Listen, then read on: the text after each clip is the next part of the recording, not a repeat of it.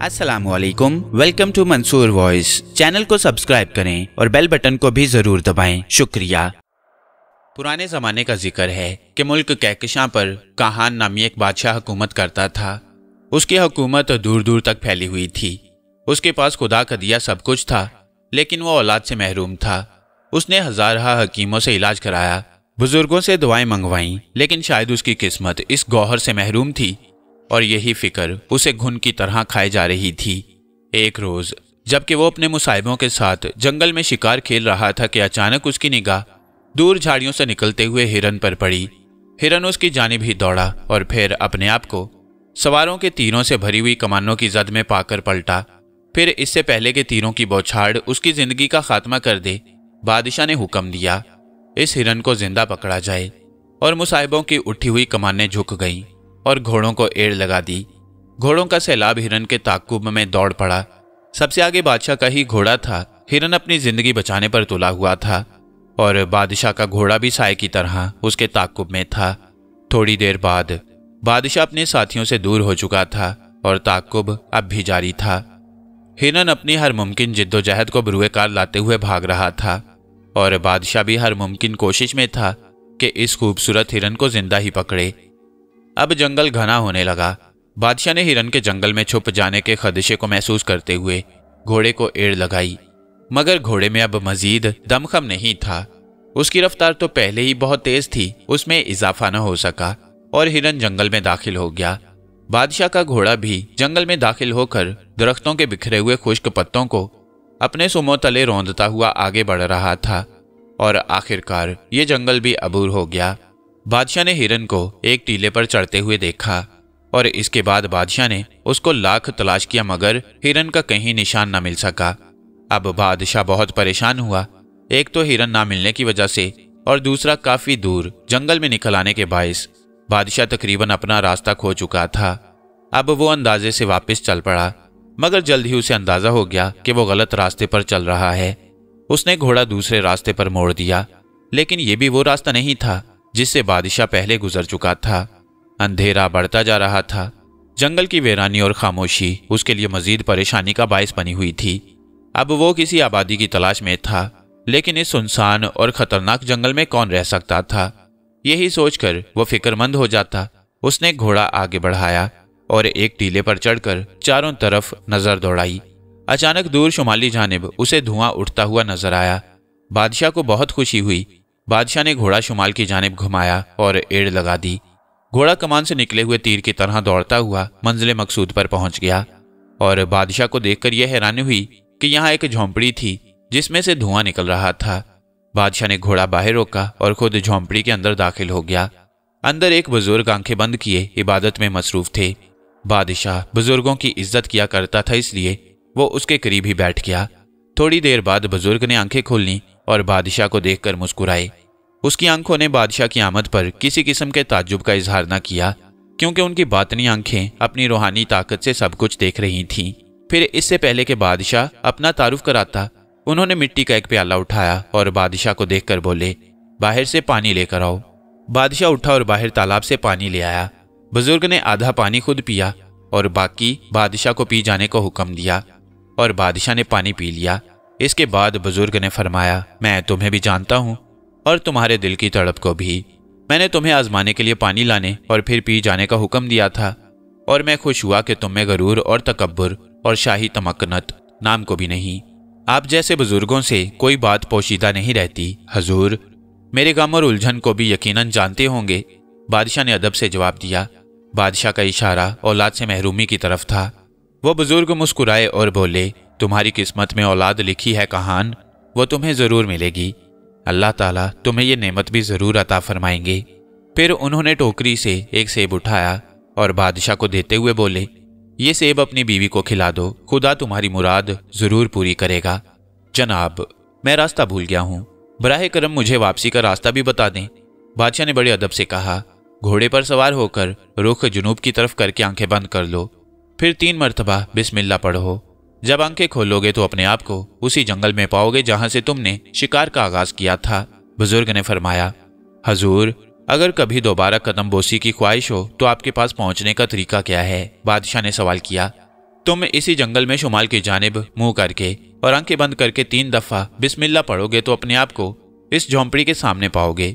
बुज़ुर्ग ने जवाब दिया और दोबारा इबादत में मशगूल हो गए बादशाह झोंपड़े से बाहर निकल आया। और फिर घोड़े का रुख जुनूब की तरफ़ करके उस पर सवार हो गया। फिर आँखें बंद करके तीन मरतबा बिस्मिल्ला पड़ी जब आँखें खोली तो उस जंगल में कोहराम मचा हुआ था, क्योंकि बादशाह के साथी ढूंढ ढूंढ कर थक चुके थे और उसे ना पाकर सख्त परेशान थे। अब बादशाह को देखकर उनकी जान में जान आई।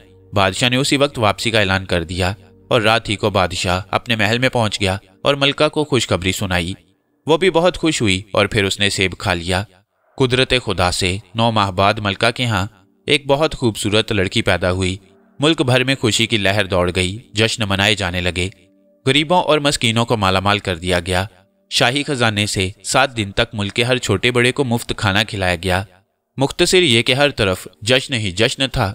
आठवें दिन बादशाह ने जाती तौर पर एक जश्न मनाने का फैसला किया। उस जमाने में जादूगर जादूगरनियों, साहिर और सलजूतरियों का बहुत ज़ोर था। बादशाह ने इस मौका पर उन्हें भी मदऊ करने का फैसला किया और सबको दावतनामे भेज दिए। उनमें एक जादूगर जिसका नाम हलकास था, दावतनामा न भेजा, क्योंकि बादशाह उससे सख्त नफरत करता था। वो जादूगर बहुत जालिम और बेरहम था। उसने इंसानी खोपड़ियों से अपना महल बनाया हुआ था और इंसानी खून को वह बतौर पानी इस्तेमाल किया करता। दूसरे दिन जश्न बड़े वसी पैमाने पर शुरू हुआ। उस जश्न में तमाम शायरों जादूगरों और मुल्क के तमाम उमरा गुरबा ने शिरकत की और शहजादी को तोहफे दिए और दवाएँ दी। जश्न के अख्ताम पर, जब बादशाह तमाम मेहमानों को अलविदा कहकर शहजादी के कमरे में आया तो अचानक एक धमाका हुआ और एक बिजली सी कौंदी अब वहाँ हल्कास जादूगर ज़ाहिर हुआ। उसकी निगाहें शोले उगल रही थीं, पिचका हुआ चेहरा। किसी वैश्य दरिंदे की तरह नज़र आ रहा था। फिर इससे पहले के बादशाह उससे कोई सवाल करता। वह करख्त लहजे में बादशाह से मुखातिब हुआ, कहान, तुमने मुझे जश्न में मदऊ नहीं किया, कोई बात नहीं। लेकिन मैं शहजादी को तोहफा ज़रूर दूँगा, हल्कास जादूगर ने कहा और शहजादी के पंगूड़े की तरफ़ बढ़ा और अपना बायां हाथ बगल से निकाला और उसकी उंगली शहजादी के मुँह में दे दी। मासूम शहजादी ने उसे चूस लिया, फिर बादशाह के चौंकने और इस हरकत से रोकने से पेशतर उसने उंगली निकाल ली और तेज लहजे में बोला, मेरे तोहफे को याद रखना। शहजादी जब सोलह साल की हो जाएगी तो अचानक इसका कद घट जाएगा और वो एक हाथ बराबर की रह जाएगी। नहीं नहीं, ये जुल्म है। बादशाह ने हजियानी अंदाज में चीख कर कहा, क्यों नहीं? ऐसा ज़रूर होगा। शहजादी बोनी ज़रूर होगी। इसके साथ ही रोशनी का झपाका हुआ और जादूगर गायब हो गया। फिर तो जैसे एक कोहरा मच गया, बादशाह ने नजूमी साहिर और जादूगरों को बुला लिया कि वो शहजादी को हर कीमत पर इस दाम से निजात दिलाएँ। लेकिन तीन दिन की मुसलसल कोशिश के बाद यही फैसला तय पाया कि वक्त का इंतज़ार करें। जब उसका रद्दमल होगा, फिर कुछ किया जा सकेगा। बादशाह भी मजबूरन खामोश हो गया। और दुआओं का सिलसिला शुरू करा दिया। शहजादी, जिसका नाम जरी रखा गया था, उम्र के फासले तय करने लगी। उम्र के साथ साथ उसका हुस्न भी बढ़ता जा रहा था और फिर उसके हुस्न के चर्चे दूर दूर तक फैलने लगे और हर कोई शहजादी जरी की खूबसूरती के गुन गाने लगा और शहजादी जवानी की मंजिल की तरफ़ बढ़ने लगी। आखिर वो मनहूस दिन भी आ गया, जिसका सबको इंतज़ार था। शहजादी जरी ने सोलहवें साल में कदम रख लिया, फिर एक दिन जबकि वो बाग में अपनी सहेलियों के साथ सैर तफरी में मसरूफ थी। अचानक उसका कद घटने लगा। शहजादी की सहेलियाँ चीख पड़ी और बादशाह को इतला दी। बादशाह दरबार को छोड़कर दीवानों की तरह भागकर शहजादी के पास पहुँचा। उस वक्त शहजादी आधी हो चुकी थी। बादशाह ने बुज़ुर्गों, साहिरों और हकीमों को तलब किया ताकि इस सिलसिले में कुछ करें। हकीमों ने इस खतरे के पेश नज़र कि उस जलील जादूगर ने शायद कोई ऐसा जहर न दे दिया हो जिसका असर सोलह साल के बाद जहूर पजीर होता हो, मुख्तलिफ़ किस्म के तरियाक और जड़ी बूटियाँ आजमाई, लेकिन नाकाम रहे। साहिरों ने अमल और बुज़ुर्गों ने दुआएँ की, मगर सब बेसूद। देखते ही देखते शहजादी शाम तक एक हाथ के बराबर रह गई। अब बादशाह बहुत फिक्रमंद हुआ, उसने अपनी तरफ़ से हर मुमकिन कोशिश की, मगर कोई कोशिश बार आवर न हुई। बादशाह इस कदर गुस्से में था कि उसका बस नहीं चलता था, वरना वो उस जादूगर के टुकड़े उड़ा देता। इसी तरह वक्त गुजरता रहा। और एक माह गुजर जाने के बावजूद भी शहजादी की हालत में कोई तब्दीली न हुई। आखिर मुशीरों और वजीरों ने बादशाह को मशवरा दिया कि वह हल्कास जादूगर के पास जाए और उससे दरख्वास्त करे कि वह अपना अमल वापस ले ले। बादशाह ने उनका मशवरा कबूल कर लिया और शहजादी की खातिर उस जलील जादूगर के महल जाने को तैयार हो गया। बादशाह ने अपना घोड़ा मंगवाया और सवार होकर हल्कास के महल की जानब रवाना हो गया। उसका महल दूर एक खुले मैदान में वाक़ था। और महल से हर वक्त हंसने की आवाज़ें आती रहती। अगर कोई जादूगर को नुकसान पहुँचाने के इरादे से आगे बढ़ता तो उन खोपड़ियों से रोने की आवाज़ें बुलंद होती और पलक झपकते ही जादूगर मौत बनकर आता और फिर उसकी खोपड़ी भी उस दीवार में लगा दी जाती। बादशाह भी जब वहाँ पहुँचा तो मुसलसल कह कहों की आवाज़ें आती रहीं और वो अंदर दाखिल हो गया। हलकास ने बादशाह को खुश आमदीद कहा, हलकास, मुझसे गलती हो गई थी कि मैंने तुम्हें उस जश्न में शरीक नहीं किया। अब मैं एक और जश्न मनाना चाहता हूँ, ताकि तुम्हें खास तौर पर उसमें दावत दे सकूँ। मगर तुम शहजादी को इस मुसीबत से निजात दिला दो। शहजादी को असली हालत में ले आओ। शहजादी ज़रूर ठीक हो जाएगी, मगर इसके लिए तुम्हें मेरा एक मुतालबा मानना पड़ेगा। हल्कास जादूगर ने पुरस्रार अंदाज में कहा, मैं तैयार हूँ, बादशाह ने कहा। शहजादी के ठीक हो जाने के बाद तुम उसकी शादी मेरे साथ करोगे। हल्कास ने अपना मुतालबा सुना दिया, नहीं, ये नहीं हो सकता। बादशाह गरज कर बोला तो फिर समझ लो, वो ज़िंदगी की आखिरी सांसों तक ठीक नहीं हो सकती। हल्कास ने गुस्से में कहा, मैं उम्र भर उसे इस हालत में देखता रहूँगा, मगर उसकी शादी तुम्हारे साथ नहीं कर सकता। बादशाह ने भी दो टोक जवाब दिया, तुम्हारी मजबूरी और वक्त की ज्यादती तुम्हें मेरे दर पर ज़रूर झुका देगी, कहान। हल्कास ने जवाब दिया, फिर इस तलख कलामी के बाद बादशाह वापिस आ गया। उसका दिमाग जलती खोपड़ी की मानंद चिटक रहा था और दिल खून के आँसू रो रहा था। अचानक बादशाह के जहन में उस बुज़ुर्ग का ख्याल आ गया, जिनकी दुआओं से ये गोहर नसीब हुआ था। बादशाह का चेहरा खुशी से दमक उठा और वापस महल की बजाय बादशाह ने अपना रुख जंगल की तरफ़ मोड़ दिया, जहाँ आज से सत्रह साल पहले शिकार खेलने गया था। जंगल में पहुंचकर बादशाह ने अपना रुख शुमाल की जानब किया और फिर आँखें बंद करके तीन मरतबा बिस्मिल्ला पड़ी और जब आँखें खोली तो अपने आप को उसी झोंपड़ी के पास खड़ा पाया। बादशाह घोड़े से नीचे उतरा और झोंपड़ी में दाखिल हो गया। मगर वो चौंक पड़ा, क्योंकि अंदर वो बुज़ुर्ग नहीं थे, बल्कि कोई और बुज़ुर्ग इबादत में मसरूफ थे। बादशाह के पूछने पर उन बुज़ुर्ग ने बतलाया कि बादशाह के मतलूबा बुज़ुर्ग अरसा दो साल हुआ इंतकाल कर चुके हैं। ये खबर बादशाह के जहन में बम की मानंद फटी और बादशाह की खुशियों पर औस पड़ गई। बादशाह ने बुज़ुर्ग के मिजार का पूछा तो उन्होंने झोंपड़े के अंदर इशारा कर दिया। अब बादशाह ने जो गौर से देखा तो सामने उसे एक और दरवाज़ा दिखाई दिया। बादशाह दरवाज़ा बूर करके अंदर दाखिल हुआ तो अंदर एक खुले कमरे के वस्त में एक कबर दिखाई दी। बादशाह ने फातिया पढ़ी और बाहर निकल आया और वापस जाने के लिए घोड़े पर सवार होने लगा। तो उन बुज़ुर्ग ने कहा, बेटा, तुम वापस मत जाओ, क्योंकि मरहूम बुज़ुर्ग का हुक्म है कि जो भी मेरे मजार पर आए, एक रात यहाँ ज़रूर गुजारे। बादशाह उनका हुक्म सुनकर ठहर गया। उन बुज़ुर्ग ने रात गुजारने के लिए उसी झोंपड़ी में जगह दे दी और बादशाह सो गया। रात को बादशाह ने ख्वाब में पहले वाले बुज़ुर्ग को देखा, जो कह रहा था, कहान तुम क्या समझकर वापस जा रहे थे? मेरा जिसम सो गया है, मगर मेरी रूह तो जाग रही है। तुम जो मकसद लेकर आए हो, वह ज़रूर पूरा होगा। सुबह उठकर जुनूब की जानब दस फरलांग जाना। आगे तुम्हें तीन दरख्त एक दूसरे से जुड़े हुए दिखाई देंगे। जब तुम दरमियान वाले दरख्त की जड़ को खोदोगे तो वहाँ तुम्हें एक संदूकचा मिलेगा, जिसमें एक दिया होगा। तुम एक बंद कमरे में शहजादी के सामने दिया जला देना। जो जो दिए की बत्ती सुलगती रहेगी, शहजादी बड़ी होती जाएगी। बादशाह सुबह उठा तो बहुत खुश हुआ। नमाज़ से फारिग होने के बाद उसने घोड़ा संभाला और चंद लम्हों के बाद मतलूबा जगह पर पहुँच गया। वाकई वहाँ पर तीन दरख्त मौजूद थे। बादशाह ने तलवार निकाली और दरमियान वाले दरख्त की जड़ को खोदने लगा। अभी बादशाह ने छह सात वार किए होंगे कि उसे एक फुंकार की आवाज़ सुनाई दी। बादशाह चौंक पड़ा। उस दरख्त की शाख से एक अजधा नीचे उतर रहा था और चाहता था कि बादशाह पर हमला करे। मगर बादशाह ने फुर्ती से तलवार का एक वार किया और अजदहा दो टुकड़ों में तकसीम होकर तड़पने लगा। और बादशाह ने फिर खुदाई शुरू कर दी। चंद फुट खुदाई के बाद उसकी तलवार किसी सख्त चीज़ से टकराई। बादशाह ने हाथों से मिट्टी हटाकर देखा तो यह उसका मतलूबा संदूकचा था। बादशाह ने जल्दी से संदूकचा निकाला और वापस चल पड़ा। झोंपड़ी के पास आकर उसने जनूब की तरफ़ मुँह करके तीन मरतबा बिस्मिल्ला पढ़ी। और जब आँखें खोली तो उसी जंगल में था और फिर वो जल्द ही अपने महल में पहुँच गया। बादशाह ने शहजादी को एक बंद कमरे में बिठाया और दिया जला दिया। दिए की बत्ती सुलगती रही और शहजादी हैरत अंगेज तौर पर बढ़ने लगी। फिर जब दिए की लौ टिमटिमाई और बुझी तो शहजादी अपनी असली हालत में आ चुकी थी। बादशाह बहुत खुश हुआ और रियाया में मुसरत शादमानी की लहर दौड़ गई, क्योंकि वो अपने रहम दिल सखी और रियाय परवर बादशाह को गमगीन नहीं देख सकती थी। शहजादी भी बहुत खुश थी क्योंकि आज उसे नई ज़िंदगी मिली थी, लेकिन किस्मत को कुछ और ही मंजूर था। अभी ये सब अपनी खुशियों में मगन थे कि अचानक वही जालिम जादूगर हलकास आ मौजूद हुआ। तुमने मुझसे टकरा कर अच्छा नहीं किया, कहान। मैं अब ऐसा वार करूँगा कि शहजादी तड़पती रहेगी, और तुम उसकी हालत पर आँसू बहाने के अलावा कुछ ना कर सकोगे। जादूगर ने कहर से भरपूर आवाज़ में कहा, और साथ ही हाथ सीधा कर दिया। गैर मामूली तरीका से उसके हाथ में एक खंजर आ गया। उसने खंजर अपने बाएँ बाजू पर चलाया, खून का एक फवारा निकला।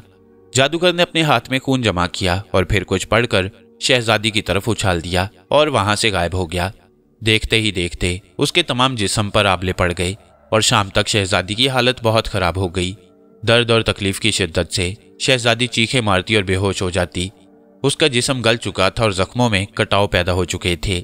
बादशाह ने हकीमों और साहिरों को बुलाया, मगर पहले की तरह वो फिर नाकाम रहे। बादशाह उम्मीद की किरण लेकर फिर बुज़ुर्ग के पास पहुँचा। रात को ख्वाब में बशारत हुई कि शहजादी को ठीक करने के लिए दो सरों वाले शेर के खून की ज़रूरत है। जिसमें हल्कास जादूगर की जान है, उस शेर के खून से शहजादी गुसल पाने के बाद ठीक हो सकेगी। आप मुझे रास्ता बतला दे। उस शेर का खून मैं अपनी ज़िंदगी देकर भी लाने से द्रेक नहीं करूँगा। बादशाह ने पुरजम लहजे में कहा, मैं उसका रास्ता बतलाने को तैयार हूँ, मगर उस शेर की मौत तुम्हारे हाथ से नहीं लिखी। जिसने उसको फना करना है, वो खुद ही आएगा, और शहजादी के लिए आप बेहयात बन जाएगा, बुज़ुर्ग ने कहा। आप मुझे उस नौजवान का पता बतला दें। मैं खुद उसे तलाश करके ले आऊँगा। बादशाह ने दरख्वास्त की। नहीं वो खुद आएगा। तुम वक्त का इंतज़ार करो। बुज़ुर्ग ने बड़े शफीक लहजे में बादशाह से कहा। इसके बाद बादशाह की आँख खुल गई। सुबह होते ही वो वापस महल में पहुँच गया और वज़ीर को हुक्म दिया कि तमाम मुल्क में ऐलान करा दो कि जो नौजवान शहजादी जरी के लिए दो सरों वाले शेर का खून लाएगा, उसकी शादी शहजादी जरी से कर दी जाएगी और तख्तो ताज भी उसके हवाले कर दिया जाएगा। आदिल ने आखिरी चोट लगाकर कुल्हाड़ा एक तरफ़ फेंका और लकड़ियों का गट्ठा बनाने लगा। गट्ठा बनाकर उसने कांधे पर रखा और वापस शहर की तरफ़ चल पड़ा। शहर पहुंचकर उसने लकड़ियाँ फरोख्त की और वापस मुड़ा। कुछ फासले पर उसे एक मजमा दिखाई दिया। करीब जाने पर उसे मुनादी करने वाले की आवाज़ सुनाई दी। आला हज़रत शहनशाह कहकशां की दुख्तर के इलाज के लिए दो सरों वाले शेर के खून की ज़रूरत है। बादशाह सलामत ने ऐलान फरमाया है कि जो नौजवान दो सरों वाले शेर का खून लाएगा। शहजादी जरी की शादी उस खुशकिस्मत से कर दी जाएगी और कहकशां की सल्तनत का मालिक भी बना दिया जाएगा। इस मुनादी को आदिल ने भी सुना। उसे ऐसा महसूस हुआ जैसे उसकी ज़िंदगी की बहुत बड़ी तमन्ना पूरी हो गई हो। फिर भूख ने उसके ख्यालात का शहराजा बखेर दिया और वो करीब ही एक होटल में घुस गया। लकड़ियों से मिलने वाली रकम से उसने खाना खाया और अपनी झोंपड़ी की तरफ़ बढ़ गया, जो शहर के तकरीबन आखिरी कोने पर वाक़ थी। आदिल इस दुनिया में बिल्कुल अकेला था। अभी वह बच्चा ही था कि वालदेन का साया सर से उठ गया। सिर्फ़ एक बहन थी, लेकिन उसे भी कोई जालिम उठा कर ले गया। और दस साल की तवील मुद्दत गुजरने के बावजूद वो अब तक लापता थी। पेशे के लिहाज से उसका बाप भी लकड़हारा था, इसलिए उसने भी यही पेशा अपना लिया। वो तमाम दिन लकड़ियाँ काट कर शाम को शहर में फरोख्त करके गुजर औकात करता। आदिल सारी रात चारपाई पर करवटें बदलता रहा। उसके जहन में दो तरफा जंग हो रही थी। एक उसे इस मुहिम पर जाने के लिए तैयार कर रही थी और दूसरी उसे मना कर रही थी। सुबह हो गई और वो कोई फैसला न कर सका। आखिरकार उसने फैसला अपने पीरो मुर्शद पर छोड़ दिया। इत्तफाक से आदिल के पीर भी वही बुज़ुर्ग थे, जिनसे बादशाह दो दफ़ा मुलाकात कर चुका था। सुबह उठकर उसने अपनी तलवार उठाई, अपने एक दोस्त से घोड़ा लिया और अपने पीर की तरफ़ चल दिया। उसी जंगल में पहुंचकर उसने शुमाल की तरफ़ रुख करके तीन दफ़ा बिस्मिल्ला पड़ी और जब आँखें खुली तो वो झोंपड़ी के दरवाजे पर खड़ा था। उसने मजार की जियारत की और फिर वहीं पढ़कर सो गया। हसबे मामूल, ख्वाब में उन बुज़ुर्ग ने आदिल को हदायत दी, तुम ज़रूर इस सफ़र पर जाओ। अल्लाह के फजल से तुम कामयाब रहोगे, क्योंकि तुम एक नेक मकसद लेकर जा रहे हो। किसी मजबूर बेकस की मदद करना खुदा के नज़दीक इंतहाई पसंदीदा फेल है। तुम्हारी राह में मुश्किल और रुकावटें आएँगी, मगर तुम हिम्मत न हारना, वरना हलाकत में पड़ जाओगे। आपका हुक्म बजा। कांटों से उलझ कर ही इंसान फूलों तक पहुँचता है। आदिल ने जवाब दिया, खुदा तुम्हारा मददगार हो। बेदार होकर तुम्हें कब्र के पास एक अंगूठी मिलेगी और एक तावीज मिलेगा। अंगूठी तुम्हें हर मुश्किल से हदायत देगी और तावीज तुम्हें तिलिस्मात के असरात से महफूज रखेगा। बुज़ुर्ग ने नसीहत की और गायब हो गए। सुबह बेदार होते ही आदिल ने नमाज़ पढ़ी और फिर कब्र के पास से अंगूठी और तावीज को उठाया। अंगूठी को उंगली में पहना और तावीज गले में डालकर आदिल बाहर निकल आया। बाहर आते ही हैरत अंगेज तौर पर अंगूठी से आवाज़ आई, तुम अब जहाँ खड़े हो, उसी तरफ़ नाक की सीध में। दस कोस के फासले पर एक किला है उस किले का नाम खूनी किला है। उस किले के अंदर से ही रास्ता, दो सरों वाले शेर के ठिकाने को जाता है। किले में एक देव रहता है, लेकिन जब सुबह होती है उस वक्त से सूरज गुरूब होने तक, वो देव बिल्ले के रूप में रहता है। सबसे पहले तुम्हें उसको हलाक करना है आदिल घोड़े पर सवार हुआ और अंगूठी की हदायत के मुताबिक सीधा चल पड़ा। दस कोस का फासला तय करने के बाद उसे दूर एक स्याह रंग का किला दिखाई दिया। किले के ऊपर स्याह रंग का धुआँ फैला हुआ था, जो आसमान तक जाता हुआ मालूम हो रहा था। किले से चार फरलांग के फासले पर आदिल ने घोड़ा रोका और नीचे उतर आया। उस वक्त सूरज सर पर आया हुआ था, जिसका मतलब था कि उसे किले में दाखिल होने के लिए आधा दिन और पूरी रात इंतज़ार करना पड़ेगा। आदिल ने घोड़ा दरख्त से बांधा और करीब ही सायादार दरख्त के नीचे लेट गया। तलवार खोलकर उसने पहलू में रख ली। आदिल आइंदा वकू पजीर होने वाले वाक्यात के मुतलिक सोचता रहा और सोचते सोचते ही वो सो गया। आधी रात के बाद उसकी आँख खुल गई। उसने तलवार उठाई और खुदा का नाम लेकर पैदल ही किले की तरफ़ चल पड़ा। जब वो किले के आहनी दरवाजे के करीब पहुँचा तो सुबह हो चुकी थी। जो ही वो दरवाजे में दाखिल होने लगा, अचानक ही वो स्या धुआँ जो किले के ऊपर रक्स कर रहा था, नीचे दरवाजे की तरफ़ आने लगा, और आदिल घबरा गया, क्योंकि उसे आगे कुछ भी नज़र नहीं आ रहा था। उसी लम्हे अंगूठी से आवाज़ आई, आदिल, तुम इस धुएँ की परवाह किए बगैर आगे बढ़ते चले जाओ। रास्ते में तुम्हें बहुत सी आवाज़ें आएँगी। तुमने रुकना नहीं है, और ना ही पीछे मुड़कर देखना है, वरना तुम तमाम उम्र के लिए अंधे हो जाओगे। आदिल अंदाजे से आगे बढ़ने लगा, और दरवाजे में दाखिल हो गया। अभी उसने दो चार कदम ही बढ़ाए थे कि अचानक खौफनाक चीखों की आवाज़ें आने लगी और फिर उन चीखों में मजलूमियत आ गई। उन चीखों से ऐसा महसूस होता था जैसे कोई जालिम किसी औरत का गला घोंट रहा हो और वो मदद के लिए पुकार रही हो। आदिल ने कोई परवाह ना की और बदस्तूर आगे बढ़ता रहा। अचानक आदिल उछल पड़ा। उसे अपने करीब ही अपनी गुमशुदा बहन की आवाज़ सुनाई दी। आदिल बेख्तियार पीछे देखने के लिए मुड़ा, लेकिन किसी गैर मरई ताकत ने उसे ऐसा न करने दिया। जिसका रद्दमल यह हुआ कि अब चीखें गूंजदार कहकहों में तब्दील हो गईं और उसे धमकी दी जाने लगी कि अगर वो आगे बढ़ा तो जलते हुए अलाव में जा गिरेगा। लेकिन आदिल तो पहले ही इन बातों के लिए तैयार था। आखिरकार वो उस खूनी दरवाजे को अबूर करके एक बहुत बड़े और खूबसूरत बाग में पहुँच गया। अभी वो ये फैसला भी न कर पाया था कि अब किस तरफ़ का रुख करे कि उसे अपने नज़दीक एक जोरदार गुर्राहट सुनाई दी। आदिल ने घूम कर देखा तो उसके दाएँ जानिब एक बहुत बड़ा स्या रंग का बिल्ला उसे खूंखार नज़रों से घूर रहा था। आदिल उसे देखते ही समझ गया कि ये वही जिन है जिसको वो सुबह से धूप निकलने तक ही खत्म कर सकता है। फिर आदिल के संभलने से पहले ही बिल्ले ने गुर्राहट के साथ एक जस्त लगाई और इसके साथ ही आदिल के हाथ से तलवार छूटकर दूर जा गिरी। बिल्ला पलक झपकते ही घूमा और दोबारा हमलावर हुआ। आदिल ने एक तरफ़ हटकर उसके पेट में लात मारी और वो एक दरख्त से जा टकराया। मगर नीचे गिरते ही उसने दोबारा बिजली की सी तेज़ी से जस्त लगाई और आदिल के शाने पर सवार होकर पुश्त में अपने नोकीले दांत पैवस्त कर दिए। आदिल की दर्द से चीख निकल गई। ये हमला इतना भरपूर और इतफाकिया था कि आदिल चकरा कर रह गया। इतनी देर में बिल्ला अपने पंजों और नोकीले दांतों से आदिल का शाना जख्मी कर चुका था। वो किसी आदमखोर दरिंदे की तरह गुर्रा कर उसकी जल्द उधेड़ रहा था। आदिल ने झुककर अपने दोनों हाथों से उसे दबोच कर किसी न किसी तरह अपनी पुश्त से खींचा। और पूरी कुवत से करीब ही दरख्त से दे मारा। बिल्ले ने एक करी चीख मारी और बिफरे हुए सांड की तरह आदिल की तरफ़ झपटा। उस वक्त उसका जिसम किसी गुब्बारे की तरह फूला हुआ था। उसकी गर्दन के बाल सख्त कांटों की तरह सीधे खड़े थे। आदिल ने उसके हमले से बचने के लिए अपनी जगह से जंप लगाई और चाहता था कि तलवार कवार करे कि अचानक बिल्ले ने उछलकर दांतों से आदिल की पिंडली पकड़ ली। आदिल ने तेज़ी से जिसम को झटका दिया और दूसरी लात बिल्ले के पेट पर दे मारी। बिल्ला एक भयानक आवाज़ निकालता हुआ दूर जा गिरा और दूसरा बार आदिल ने तलवार का बिल्ले पर किया। एक मकरू चीख फिजा में बुलंद हुई और बिल्ले की गर्दन कटकर दूर जा गिरी और फिर कुछ देर तड़पने के बाद बिल्ला ठंडा हो गया। जो ही सूरज की पहली किरण मुर्दा बिल्ले के जिसम पर पड़ी, अचानक जोरदार आंधी चलना शुरू हो गई और फिर जब आंधी खत्म हुई, ज़मीन पर बिल्ले की जगह एक बहुत बड़ा और हैबतनाक दियो पड़ा था। मौत के बाद उसका चेहरा और भी खौफनाक लग रहा था। आदिल ने इस तरफ़ से फारिग होकर अपने जिसम की तरफ़ नज़र दौड़ाई तो उसकी भी हालत बहुत खस्ता थी। उसके कपड़े फट गए थे, पिंडली और शाने का गोश्त उधड़ा हुआ था, मगर उसकी कामयाबी ने उसके हौसले बहुत बुलंद कर दिए। आदिल वहाँ से आगे बढ़ने लगा। सामने दिखाई देने वाले बरामदा को अबूर करने के बाद आदिल को मुख्तलिफ़ दरवाजे दिखाई दिए, और अभी वो उनमें से एक दरवाजे की तरफ़ बढ़ना चाहता ही था। कि अचानक अंगूठी से आवाज़ आई, तुम दाएँ जानिब के तीसरे दरवाजे से अंदर दाखिल हो जाओ। अब तुमने उस दरख्त को तलाश करना है जिससे रोने की आवाज़ें आ रही हैं।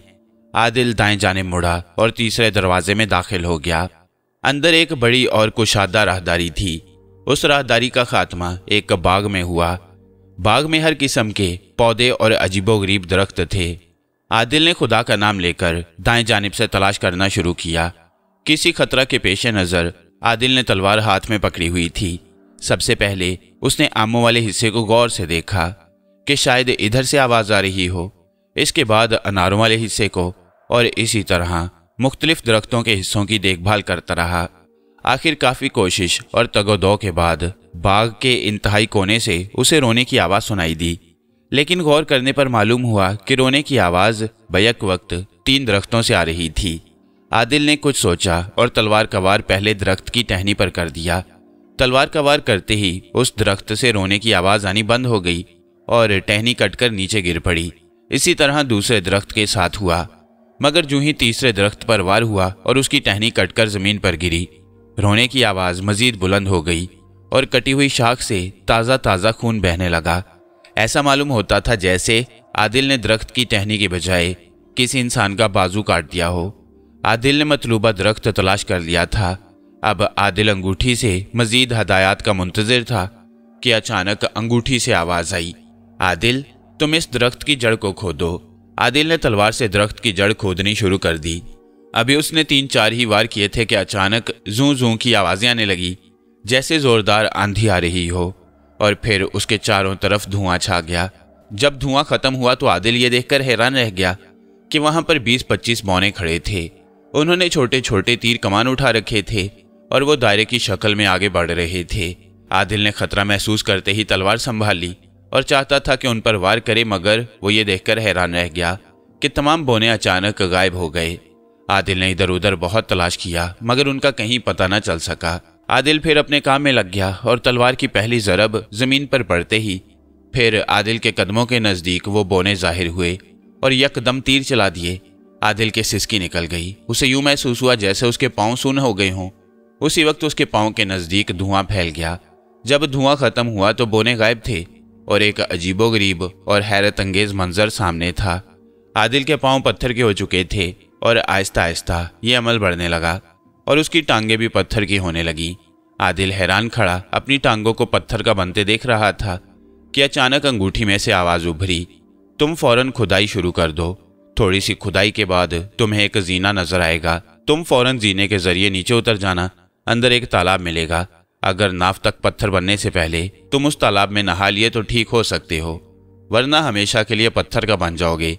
आदिल ने यह सुना और तेज़ी से खुदाई करने लगा। ज़मीन में जितना बड़ा गढ़ा होता जा रहा था, पत्थर बनने का अमल तेज़ी से जारी था और जब उसे सीढ़ियाँ नज़र आई तो वो निचले धड़ तक पत्थर का बन चुका था। नाव तक पत्थर बनने में सिर्फ़ दो इंच का फासला रह गया।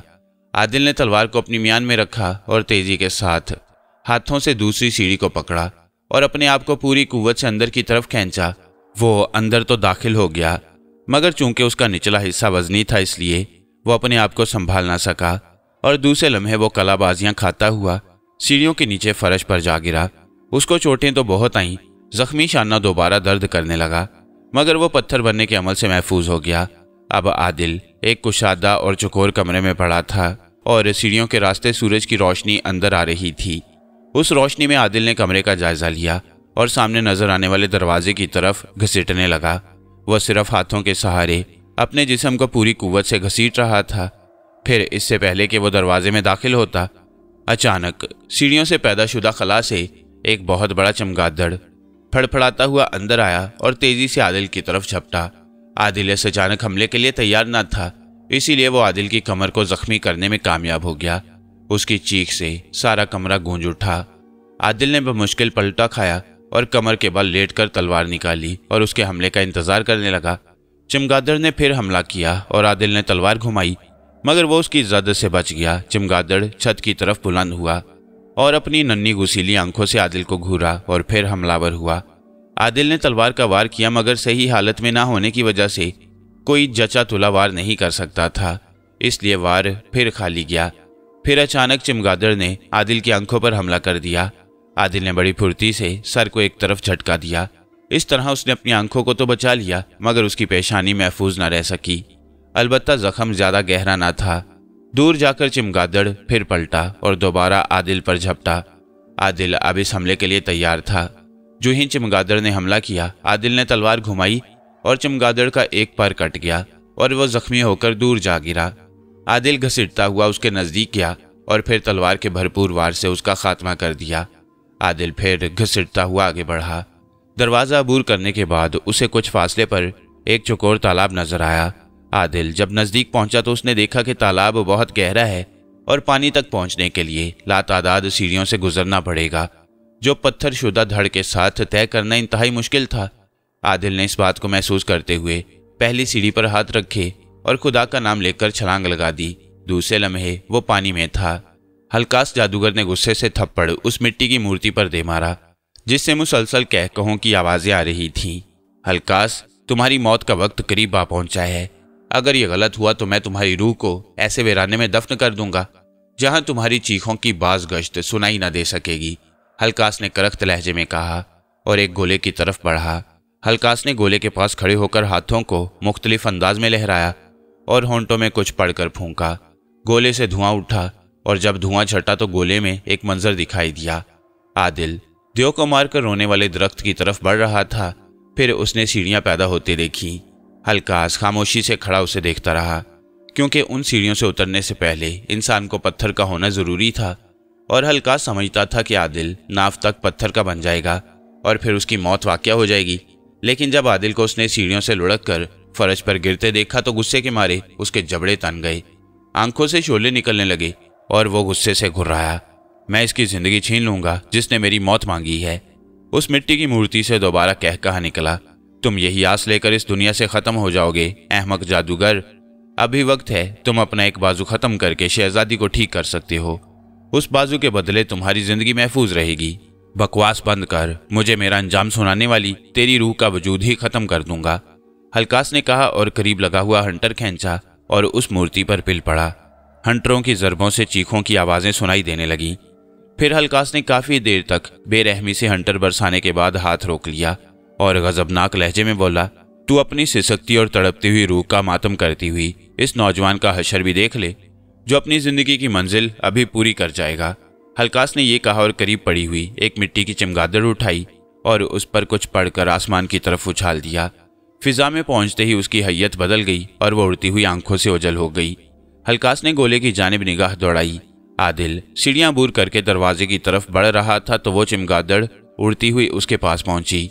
मगर वो खूनी चमगादड़ भी उस पुरज़म जवान का कुछ न बिगाड़ सकी और हल्कास ने उसका अंजाम भी अपनी आँखों से देख लिया।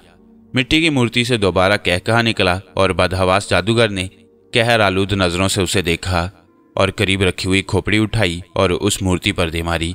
मूर्ति से एक भयानक चीख निकली और वह टुकड़े टुकड़े होकर वहीं बिखर गई। अब उसमें से किसी किस्म की आवाज़ नहीं आ रही थी। मैं अपना मज़ाक उड़ाने वालों की रूहें भी नज़र आतिश कर दिया करता हूँ। इसका अंजाम तमाम रूहें देख लें हल्का स्कुराती हुई आवाज़ में बोला, उसका इशारा उन मूर्तियों की तरफ़ था जो सामने पड़ी हुई थी। उस जादूगर ने इंसानों की रूहें, मिट्टी की मूर्तियों में कैद कर रखी थी, और उनसे वो अपने काम लिया करता। हल्कास दोबारा गोले में देखने लगा। आदिल अब करीबन तालाब में कूदने को तैयार था। हल्कास ने तेज़ी से करीब पड़ी हुई हड्डियाँ उठाई और करीब मौजूद रोशन अलाव में डाल दी, जो तनूर की तर्ज का बना हुआ था। देखते देखते गोले में पानी के ऊपर लोहे का एक जाल नज़र आया। हल्कास जाल देखकर मुस्कुराया, मगर दूसरे ही लम्हे वो बदहवास हो गया। जब उसने देखा कि आदिल के गले में लटके हुए तावीज में से एक शुआ निकली और वो जाल जलकर राख का ढेर हो गया और आदिल तालाब में जा गिरा, इस तीसरी नाकामी पर जादूगर तिलमिला उठा। उसका बस नहीं चल रहा था, वरना वो आदिल के टुकड़े उड़ा देता। हल्कास ने एक और वार का आगाज़ किया। उसने करीब रखा हुआ नकारा उठाया और उसे ज़ोर ज़ोर से बजाना शुरू कर दिया। नकारे की आवाज़ सुनते ही मुख्तलिफ़ दरवाजों से, मुख्तलिफ़ किस्म के पिंजर, जिन पर गोश्त नाम को भी नहीं था बड़े भयानक अंदाज में उसकी तरफ़ बढ़े। उनके करीब पहुँचते ही जादूगर ने दोबारा नकारा बजाया। नकारे के बजते ही जो पिंजर जहाँ था वहीं रुक गया और जादूगर निहायत गुस्से के आलम में उन्हें कुछ कहने लगा और फिर उसने गोली की तरफ़ इशारा कर दिया, जहाँ उसकी ज़िंदगी का दुश्मन आदिल बिल्कुल सही हालत में अजम इस्तकलाल का पैकर बना तालाब से सीढ़ियों के ज़रिए बाहर निकल रहा था। तालाब में गिरते ही आदिल नीचे तह तक चला गया और फिर जब वो उभरा तो उसे ऐसा महसूस हुआ जैसे उसकी टांगों के ऊपर से लिपटी हुई कोई चीज़ पिघल गई हो। फिर थोड़ी देर के बाद उसने अपनी टांगों में हरकत की सकत पाई। आदिल ने टांगों को ज़ोर ज़ोर से पानी में मारा और ये देखकर उसकी खुशी की हद न रही कि अब उसकी टांगें मामूल के मुताबिक हरकत कर रही थीं और अब उसके तमाम जख्म भी बिल्कुल ठीक हो गए थे। आदिल ने खुदा का शुक्र अदा किया और सीढ़ियों के ज़रिए तालाब से बाहर निकल आया। उसी वक्त अंगूठी से आवाज़ आई, तुम सामने वाले दरवाजे से गुजर कर अपने आप को एक दरिया के किनारे पर पाओगे। दरिया में तुम्हें एक कश्ती दिखाई देगी। तुम उस कश्ती में सवार न होना, बल्कि तावीज़ को पानी में डालकर दाखिल हो जाना और दरिया अबूर कर लेना। आदिल ने इस पैगाम को गौर से सुना और सामने वाले दरवाजे की तरफ़ बढ़ा। उस दरवाजे को अबूर करने के बाद आदिल एक दरिया के किनारे पर पहुँच गया। ऊपर खुला आसमान दिखाई दे रहा था। आदिल दरिया की तरफ़ बढ़ा तो उसे एक कश्ती दिखाई दी, जो खुद ब खुद उसकी तरफ़ बढ़ रही थी। आदिल उस कश्ती को नज़रअंदाज करके दरिया में दाखिल हो गया। जब उसके पाँव पानी में पड़े तो कश्ती भी उसके करीब पहुँच गई। कश्ती बड़ी खूबसूरत बनी हुई थी। उसके अंदर मखमल और जरताब के कालीन और पर्दे पड़े हुए थे और आराम आसाइश का तमाम सामान दिखाई दे रहा था। अगर आदिल को इसके बारे में हदायत ना होती तो वो इसमें यकीनन सवार हो जाता। लेकिन इस वक्त वो तलीसम की दुनिया में था। आदिल ने तावीज़ दरिया में डाल दिया, जो देखते ही देखते पानी की सतह पर आगे बढ़ने लगा। आदिल भी तावीज़ के पीछे पीछे चल पड़ा। गो पानी का बहाव बहुत तेज था और आम हालात में दरिया को सीधा अबूर करना कतई नामुमकिन। मगर शायद ये तावीज़ का असर था कि आदिल बिल्कुल सीधा, पानी में तावीज़ के पीछे पीछे चल रहा था और दरमियान में पहुँच जाने के बावजूद अभी तक उसके कंधों तक पानी आया था। अलबत्ता जब वो दरमियान में पहुँचा तो पानी अचानक ठंडा हो गया और आदिल को यूँ महसूस हुआ कि अगर चंद लम्हे, यही हालत बरकरार रही तो ठंडक उसके वजूद को ख़त्म कर देगी। उसने इस उफ्ताद से घबराकर कश्ती में जो उसके साथ चल रही थी सवार होना चाहा। मगर अंगूठी की आवाज़ ने उसे चौंका दिया और वो इस हरकत से बाज आया। आखिर बड़ी तगोदो के बाद आदिल ने दरिया को अबूर कर लिया। दूसरे किनारे पर पहुंचकर तावीज उसे रेत पर पड़ा हुआ नज़र आया, जिसे उसने उठा लिया और आगे बढ़ गया। कुछ दूर आने के बाद उसे एक बहुत बड़ा किला दिखाई दिया। आदिल उस किले की जाने बढ़ गया। जब वो किले के करीब पहुँचा तो अचानक किला उसकी नज़रों से गायब हो गया। आदिल बहुत हैरान हुआ और सोचने लगा कि क्या करे, कि अचानक अंगूठी से आवाज़ आई। तुम सामने वाले जंगल का रुख करो। वहाँ तुम्हें एक सुरख गर्दन वाला भैंसा मिलेगा। उसे तुमने हलाक करना है और उसके पेट में से गुर्ज निकाल कर उसे नज़र न आने वाली दीवार पर मारना है। इसके बाद तुम्हें दोबारा किला दिखाई देगा। आदिल ने इस हदायत को सुना और जंगल की तरफ़ चल पड़ा। जंगल बिल्कुल वैरान और सुनसान था। दरख्तों के झुंड और उन पर लगे हुए खुश्क पत्तों के अलावा कोई जानदार शय दिखाई नहीं दे रही थी। चारों तरफ़ हु का आलम था, मगर आदिल खौफजदा ना हुआ, बल्कि उसने उस भैंसे की तलाश शुरू कर दी। आखिर काफ़ी कोशिश और भाग दौड़ के बाद आदिल ने उसे एक जगह लेटा हुआ पाया। भैंसा बहुत खौफनाक था, उसके सर पर बारह सिंगे की मानिंद। सीधी नोकों वाले तेज सिंग थे, और वो ताकत में किसी गैंडे से कम दिखाई ना दे रहा था। आदिल ने सोचा कि इसे बराह रास्त मुकाबला करके हलाक नहीं किया जा सकता। इसलिए उसने जहन में एक स्कीम तैयार की और जल्द ही उस पर अमल शुरू कर दिया। भैंसा दरअसल उस जगह आराम कर रहा था जहाँ चारों तरफ़ मौजूद दरख्त एक दूसरे से इस तरह पैवस्त थे कि वो एक ही दरख्त की शाखें मालूम हो रही थीं और वहाँ से गुजरना मुहाल था। सिर्फ़ दो जगहों से गुजरने का रास्ता था। चुनाचे आदिल ने अपनी स्कीम के तहत एक रास्ते पर खुश्क पत्ते और टहनियाँ इकट्ठी करके एक बहुत बड़ा ढेर जमा कर लिया और दूसरे रास्ते पर उसने अपनी तलवार से इतना बड़ा और गहरा गढ़ा खोदा कि अगर भैंसा उसमें गिर पड़े तो बाहर न निकल सके। फिर उसने दो पत्थर उठाकर आपस में रगड़े और उनसे पैदा शुदा चिंगारियों से उन सूखे पत्तों और शाखों में आग लगा दी। आग यकदम भड़क उठी और आसपास के दरख्तों को भी अपनी लपेट में ले लिया। इस काम से फारिग होकर आदिल ने एक लचकीली शाख तोड़ी और कुछ पत्थर उठाकर गढ़े के दूसरे किनारे पर जा खड़ा हुआ। उसने शाख को दोहरा करके दरमियान में पत्थर रखा और घुमाकर भैंसे पर दे मारा। पत्थर तेज़ी से भैंसे की गर्दन पर जाकर लगा और भैंसा हड़बड़ाकर उठ खड़ा हुआ और इधर उधर देखने लगा, मगर उसे कोई दिखाई ना दिया। गुस्से की वजह से उसके नथनों से आवाज़ें निकलने लगीं। यूँ लगता था जैसे वो अपने मध्य मुकाबिल को नज़र आते ही हलाक कर देगा। आदिल ने दूसरी दफ़ा भी यही अमल दोहराया और इस दफ़ा पत्थर उसकी पेशानी पर लगा। अब तो भैंसा गुस्से से बेकाबू होकर फुंकारने लगा। और सींगों से ज़मीन खोदने लगा, लेकिन उसे कोई मध्य मुकाबिल नज़र नहीं आ रहा था। इस असना में आदिल ने एक और पत्थर खींच मारा और यह सीधा भैंसे की आँख पर लगा। पत्थर चूँकि नोकीला था, इसलिए चोट की शिद्दत से भैंसा डकराने लगा और बदहवास होकर दूसरी तरफ़ भागा। मगर वहाँ आग के शोले देखकर वापस पलट पड़ा। अब आदिल ने अपने आप को गढ़े के दूसरे किनारे पर ज़ाहिर कर दिया। जो ही भैंसे की नज़र आदिल पर पड़ी, वो गुस्से में पागल हो गया और हर किस्म के खतरा से बेनियाज होकर वह सींगों को नीचे करके खतरनाक दाव में उसकी तरफ़ दौड़ा। उसका अंदाज किसी माहिर लड़ाका गैंडे की तरह था। फिर आदिल जो चाहता था वही हुआ। भैंसा ज़ोर में दौड़ता हुआ आया और एक धमाके के साथ गढ़े में जा गिरा। वह ज़ोर ज़ोर से चिंगारता हुआ बाहर निकलने की कोशिश कर रहा था, मगर बेसूद आदिल ने पत्थर उठा उठाकर उसे पूरी कुवत से मारने शुरू कर दिए।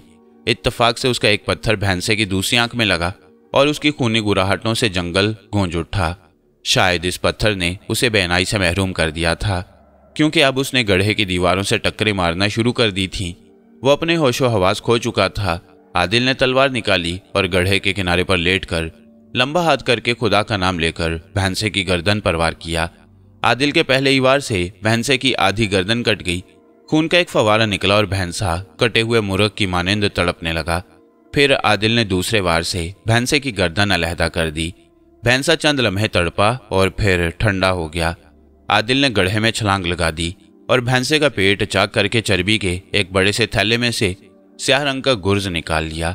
खुदा ने आदिल की यह मुश्किल हल कर दी। अचानक अंगूठी से आवाज़ आई, तुम यहाँ से एक सौ कदम गिनो और फिर गुर्ज को नामालूम दीवार पर दे मारो। तुम गुर्ज को तेरह मरतबा मारोगे। आदिल जहाँ खड़ा था, वहाँ से नाक की सीध में अपने कदम गिनता हुआ आगे बढ़ा। जब उसने सौ कदम पूरे कर लिए तो गुर्ज को हाथ में लेकर अंदाजे से ही घुमाया। और फिर वो ये देखकर हैरान रह गया कि गुर्ज एक धमाके के साथ एक ऐसी चट्टान से टकराया था जो इंतहाई सख्त थी। अब आदिल पूरी कुवत से जरबें लगा रहा था। जब तेरह जरबें पूरी हो गईं तो अचानक एक धमाका हुआ और किले की फसील टूट कर गिर गई। अब किला साफ़ दिखाई दे रहा था, जो वहाँ से जरा फासले पर था। आदिल किले की तरफ़ तेज़ी से दौड़ा। जैसे, अगर उसे जरा सी भी देर हो गई तो किला दोबारा नज़रों से उजल हो जाएगा। थोड़ी देर बाद वो किले के दरवाजे पर पहुँच गया। किले के दरवाजे पर एक बहुत भारी कुफल लगा हुआ था। आदिल ने पूरी कुवत से गुर्ज, ताले पर दे मारा और ताला टूटकर दूर जा गिरा। आदिल ने किले का दरवाज़ा खोला और अंदर दाखिल हो गया। अंदर दाखिल होते ही गुर्ज, आदिल के हाथ से अचानक गायब हो गया। अंदर हर तरफ़ जाले तने हुए थे और उनमें फंसी हुई मकड़ियाँ वाजे नज़र आ रही थीं। जिससे ये मालूम हो रहा था जैसे सदियों से, किसी के कदम किले में नहीं पहुँचे। आदिल उन जालों को साफ़ करता हुआ आगे बढ़ने लगा। उस गली नुमा राहदारी का खात्मा एक हॉल में हुआ। हॉल में पहुँचते ही अचानक कह के सुनाई देने लगे। आदिल चौंक पड़ा और चारों तरफ़ देखने लगा, मगर उसे वहाँ कुछ नज़र नहीं आ रहा था। गो हॉल मुकम्मल तौर पर बंद था, मगर फिर भी सूरज की रोशनी तमाम हॉल में फैली हुई थी। कोई खतरा ना पाकर आदिल उस हाल को अबूर करके दूसरे हाल में दाखिल हो गया, मगर वो भी खाली था। अलबत्ता कह के अब भी उसके साथ साथ थे। अब आदिल तीसरे हाल में दाखिल हुआ, और ये देखकर चौंक पड़ा कि अंदर एक चबूतरे पर एक तवील कामत इंसान खड़ा कह के लगा रहा है। उसका सर गंजा और चेहरा खबासतों का मजमुआ दिखाई दे रहा था। आदिल को देखते ही उसके कह के रुक गए, और वह तूफानी आवाज़ में बोला, नौजवान, वापस चले जाओ, क्योंकि मैं एक दफ़ा तंबी किया करता हूँ, फिर उसकी मौत बन जाया करता हूँ। और मैं ललकारने वाले को जहन्नुम वासिल कर दिया करता हूँ। आदिल ने भी उसे ललकारा। उसी वक्त अंगूठी से आवाज़ आई, जब ये जादू करे तो तुम इसके जादू से पैदा शुदा हर जादू की जानब तावीज कर देना। ये अभी पता चल जाता है कि मुझे गुस्सा दिलाने वाला कितने लम्हे इस दुनिया में रहता है। उस जादूगर ने कहा और ज़ोर से पाँव ज़मीन पर मारा। अचानक आग का एक शोला कहीं से नमूदार हुआ और आदिल की तरफ़ बढ़ा। आदिल ने अपनी तरफ़ आते हुए शोले के सामने तावीज कर दिया। तावीज में से एक चमक निकली और शोला बुझकर नज़रों से गायब हो गया। जादूगर ये देखकर बहुत गजबनाक हुआ और फिर ज़ोर ज़ोर से ज़मीन पर पाँव मारने शुरू कर दिए। बहुत से शोले निकले और आदिल को जलाने की खातिर उसकी तरफ़ बढ़े। मगर आदिल तावीज का रुख उनकी तरफ़ कर देता और वह बुझकर गायब हो जाते। जादूगर की नज़रें और ज़्यादा कहर आलूद हो गईं। उसने अचानक सामने लटकी हुई तलवार की तरफ़ देखा और तलवार खुद ब खुद मियान से निकली और आदिल की तरफ़ बढ़ी। उसका निशाना आदिल का सीना था। आदिल ने उसकी तरफ़ भी तावीज कर दिया। तावीज में से एक चमक निकली और तलवार को आग लग गई और वह जलती हुई नज़रों से गायब हो गई। अचानक उस जादूगर ने पास पड़ी हुई खोपड़ी को उठाया और आदिल की तरफ़ उछाल दिया। आदिल तेज़ी से घूमा मगर कामयाब न हो सका। खोपड़ी ज़ोर से आदिल के तावीज वाले हाथ पर पड़ी और तावीज उसके हाथ से गिर पड़ा।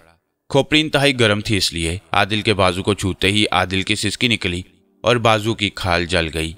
आदिल तेज़ी से तावीज उठाने के लिए झुका के अचानक कहीं से फिर एक तलवार नमूदार हुई, उसका रुख आदिल का सीना था। आदिल यकदम ज़मीन पर लेट गया और तलवार उसके ऊपर से गुजर गई। थोड़ी दूर जाकर तलवार फिर वापस पलटी, मगर इतनी देर में आदिल तावीज उठा चुका था। अब जो ही तलवार आदिल के नज़दीक आई, आदिल ने तावीज आगे कर दिया और तलवार जलकर भस्म हो गई। जादूगर ने और भी मुख्तलिफ़ हरबे आजमाए, मगर आदिल पर कोई जादू असर न कर सका। आखिर मजबूर होकर जादूगर ने तलवार उठाई और खुद ही मुकाबले पर आ गया। आदिल जो इसी लम्हे का मुंतजर था, उकाब की तरह उस पर झपटा और फिजा तलवारों के टकराने से गूंज उठी। दोनों खूनी अंदाज में एक दूसरे पर बढ़ चढ़कर वार कर रहे थे। जादूगर ने तलवार का वार किया, आदिल ने तलवार पर उसे रोका और फिर पाँव की एक जोरदार ठोकर उसके पेट पर मारी। जादूगर बिलबिलाकर दूर जा गिरा। आदिल ने तलवार को खंजर के से अंदाज में पकड़ा और जादूगर के दिल का निशाना बनाकर छलांग लगा दी। जादूगर ने पलटा खाया और आदिल ज़मीन पर लुढ़कता चला गया। तलवार का वार इतना भरपूर था कि तलवार सख्त फर्श को तोड़कर उसमें धंस गई। जादूगर ने जल्दी से अपनी तलवार उठाई और निहत्ते आदिल पर वार कर दिया। आदिल पलटियाँ खा रहा था। अचानक आदिल ने मौका देखकर जादूगर के पाँव में अपना पाँव फंसा दिया। जादूगर मुँह के बल गिर पड़ा। आदिल तेज़ी से उठा और फर्श में धंसी हुई तलवार को निकाला और जादूगर पर जोरदार हमला कर दिया। जादूगर अपनी तलवार पर वार करता रहा, मगर कहाँ तक? आदिल तो बिजली बना हुआ था। अचानक जादूगर ने अपने आप को बचाने के लिए एक तरफ़ पलटी खाई, मगर आदिल ताड़ गया और अपनी तलवार का रुख उधर कर दिया। दूसरे लम्हे आदिल की तलवार। जादूगर के सीने में पैवस्त हो चुकी थी। जादूगर की एक चीख बुलंद हुई और वो तड़पने लगा। आदिल ने एक और वार करके उसका सर तन से जुदा कर दिया और जादूगर बगैर कोई सिस के लिए ठंडा हो गया। आदिल ने उसकी मौत पर खुदा का शुक्र अदा किया और खून में डूबी हुई तलवार को जादूगर के कपड़ों से साफ़ किया। जादूगर का खून कमरे में इस तरह बह रहा था जैसे सैलाब आ गया हो। लेकिन आदिल उसे बेपरवाह उस कमरे की तरफ़ बढ़ा, जो उसकी मंजरे मकसूद की, एक कड़ी थी। दरवाजे को अबूर करने के बाद आदिल ने खुद को एक कगार में पाया, जो नहायत तारीख थी।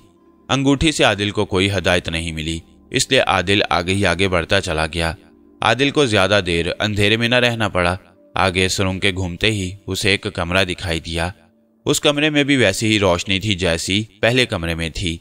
उस कमरे में से गुजरकर आदिल ने अपने आप को वसी और ईज हॉल में पाया। उसकी वसत से इस बात का अंदाज़ा होता था कि अगर ये किसी बादशाह का महल होता तो दरबार आम के लिए इससे ज़्यादा मौजूद जगह और कोई ना होती। उस कमरे के सात दरवाजे थे, जिनमें से छह बंद थे। सिर्फ़ वही दरवाज़ा खुला था, जिसमें से आदिल अंदर दाखिल हुआ। आदिल, अब इस सोच में था कि बाहर निकलने के लिए कौन सा रास्ता इख्तियार करे। कमरे का जायजा लेने के लिए वो आगे बढ़ा। जो ही वो दरमियान में पहुँचा, हॉल के सारे दरवाजे खुल गए और सातों दरवाजों में से अजीबुल खलकत इंसान अंदर दाखिल हुए। आदिल ने तलवार सीधी की, लेकिन अंगूठी से आवाज़ बुलंद हुई, तुम अपने हाथ दवाइया अंदाज में आगे बढ़ाओ और आँखें बंद कर लो। आदिल ने उसी तरह किया, फिर अचानक ही उसे अपने हाथों पर वज़न महसूस हुआ।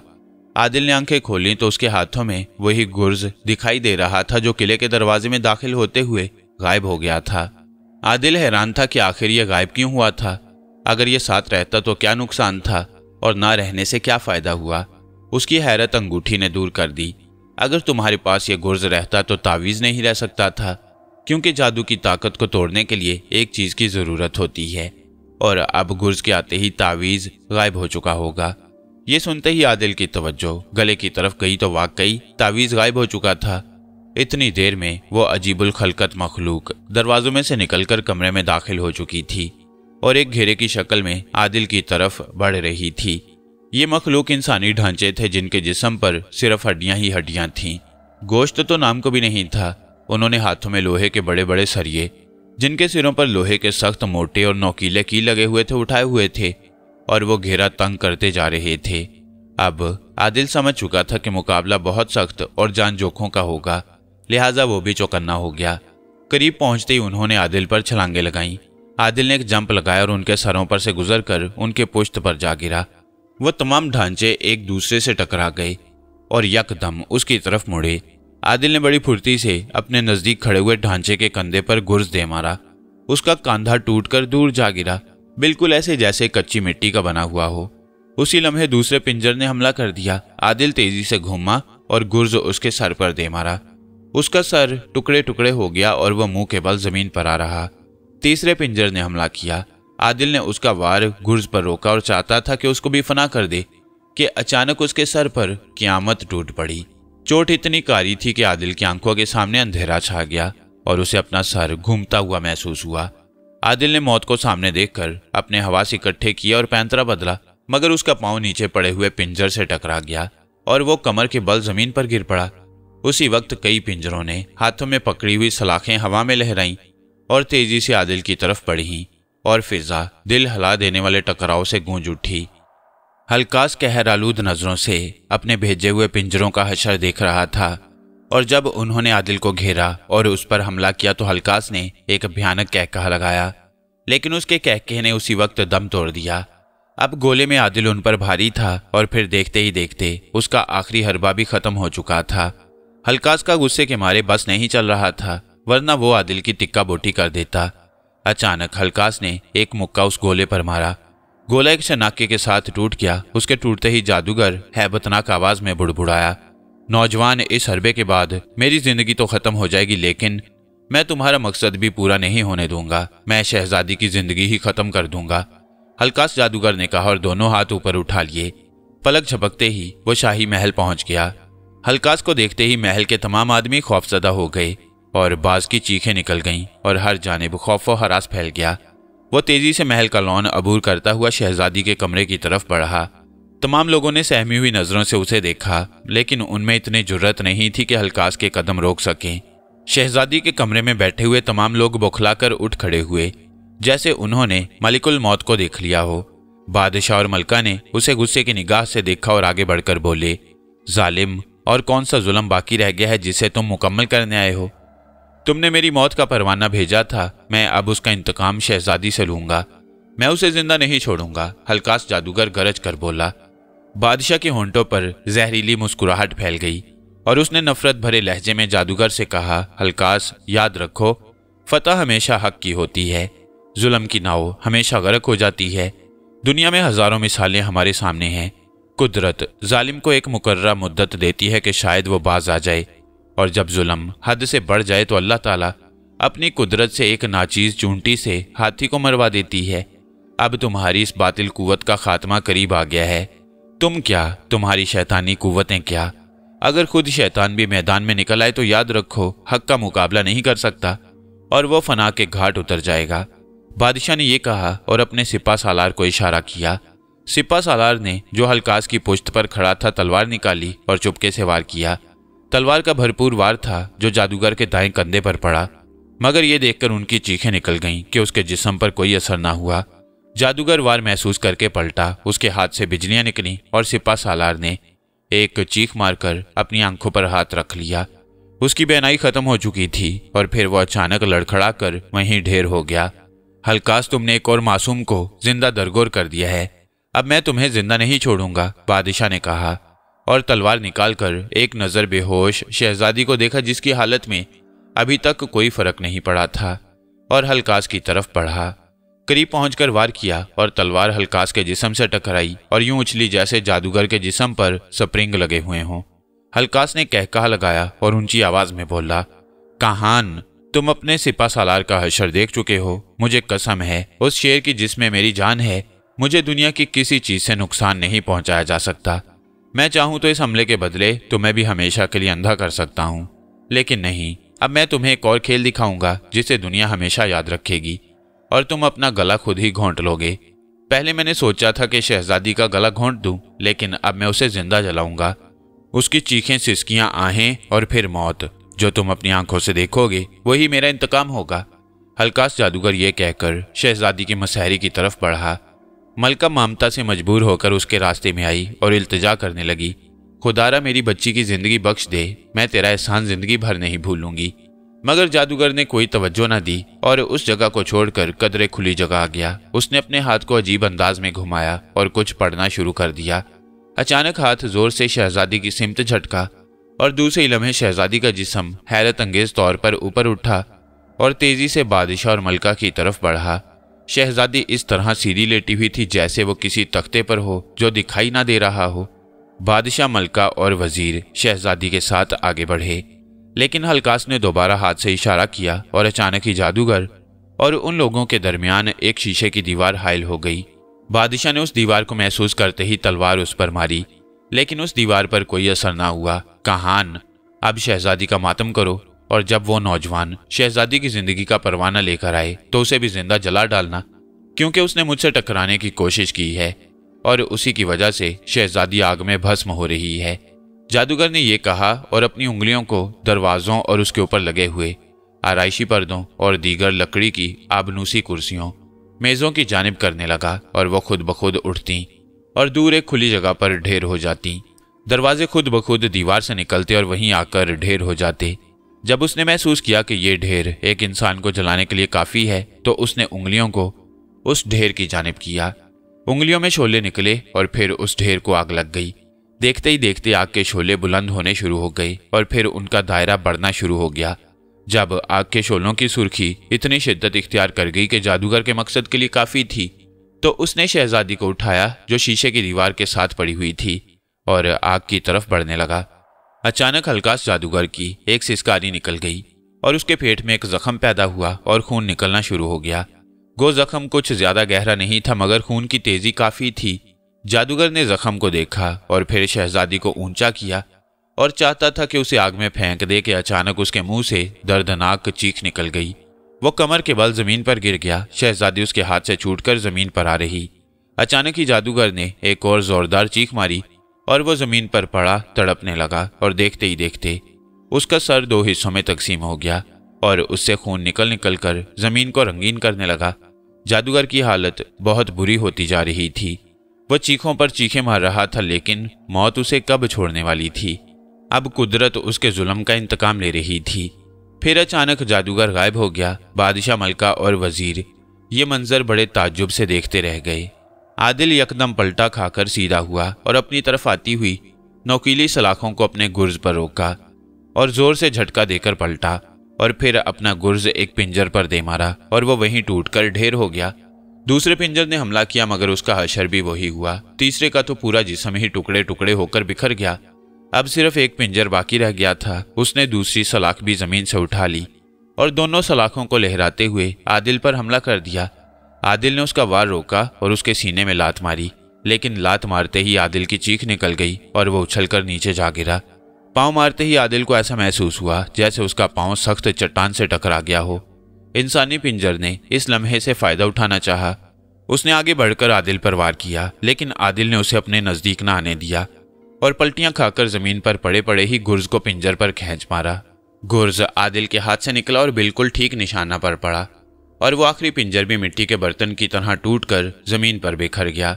इस मुकाबले से फरागत पाने के बाद आदिल आगे बढ़ा और एक दरवाजे से गुजरकर एक खुली राहदारी में निकल आया, जिसमें उस कमरे के दरवाजे खुलते थे। आदिल ने उस गैलरी को अबूर किया और एक सुरंग के धाने पर पहुँच गया। इस सुरंग में काफ़ी अंधेरा था, मगर आदिल बेखौफ खतर सुरंग में घुस गया। उस गैलरी के अख्ताम पर आदिल को एक दरवाज़ा नज़र आया। उस दरवाजे की चौखट लोहे की बनी हुई थी और उस चौखट की लंबाई की तरफ़ आरी की मानंद दंदाने बने हुए थे। आदिल उस दरवाजे की तरफ़ बढ़ा। आदिल बहुत मोहतात अंदाज में बढ़ रहा था, क्योंकि हर वक्त यही खतरा था कि ना जाने किस वक्त किसी से मुठभेड़ हो जाए। उसने गुर्ज को इस अंदाज में थाम रखा था कि अभी कोई हमला करेगा और वो उसका जवाब देगा। आदिल जो ही उस लोहे की चौखट वाले दरवाजे में दाखिल होने लगा, उसकी हैरत से चीख निकल गई, क्योंकि हाथ में पकड़ा हुआ गुर्ज आधा कटकर ज़मीन पर गिर चुका था। आदिल बौखलाकर फ़ौरन पीछे की तरफ़ हट गया। ये वाक्य यूँ हुआ था कि जैसे ही आदिल उस दरवाजे में दाखिल होने लगा और गुजरकर दूसरी तरफ़ जाना चाहा, अचानक चौखट से तेज़ी के साथ आरी नुमा नौकीले दंदाने निकले और एक दूसरे से मिल गए। आदिल ने चूँकि आगे गुर्ज किया हुआ था, इसलिए सिर्फ़ गुर्ज उनकी जद में आया और कटकर दो हिस्सों में तकसीम हो गया। आदिल ने इस आफत नागहानी से बच जाने पर खुदा का शुक्र अदा किया। अगर उसके हाथ में गुर्ज ना होता तो इस वक्त गुर्ज की बजाय वो खुद दो टुकड़े हो चुका होता। अब आदिल के लिए एक नया मसला पैदा हो चुका था। क्योंकि इस दरवाजे को अबूर करना काफ़ी मुश्किल और दुशवार काम था। आदिल ने इस सिलसिला में काफ़ी गौर किया। आखिर एक फैसला करके उसने तलवार मियान से निकाली और उस चौखट के अंदर कर दी। हसबे मामूल चौखट से वो तेज और नौकीले आरी नुमा दंदाने तेज़ी से बाहर निकले और आपस में जुड़ गए और तलवार आधी कट कर आदिल के हाथ में रह गई और दूसरी आधी दरवाजे के दूसरी तरफ़ जा पड़ी। दंदाने जिस तेज़ी से जुड़े, उसी तेज़ी से वापस हुए। और उसी लम्हा से आदिल ने फ़ायदा उठाया और तेज़ी से अंदर छलांग लगा दी। दंदा ने दोबारा तेज़ी से आ मिले, मगर इतनी देर में आदिल चौखट अबूर कर चुका था। अब आदिल फिर एक सुरंग के मुँह पर खड़ा था। आदिल ने उस सुरंग को अबूर करते ही अपने आप को एक वसी और रीज वैरान खंडर में पाया, जिसमें हर तरफ़ लोहे के जंगले ही जंगले नज़र आ रहे थे, लेकिन सभी खाली थे। इसका मतलब यह था कि आदिल अब तेज़ी से अपनी मंजिल मकसूद पर पहुँच गया था और ये आखिरी मरहला रह गया था। क्योंकि दो मुँह वाला शेर ही आदिल की मंजिल थी, और इन जंगलों से साफ़ ज़ाहिर होता था कि वो शेर यहीं कहीं होगा। अब आदिल ने दो मुँह वाले शेर के जंगले की तलाश शुरू कर दी, और आखिरकार उस एक जंगले में दो मुँह वाला शेर नज़र आ गया। ये शेर बेहद खौफनाक और खूंखार दिखाई देता था। इसकी साख्त भी दूसरे शेरों से बिल्कुल मुख्तलिफ़ थी।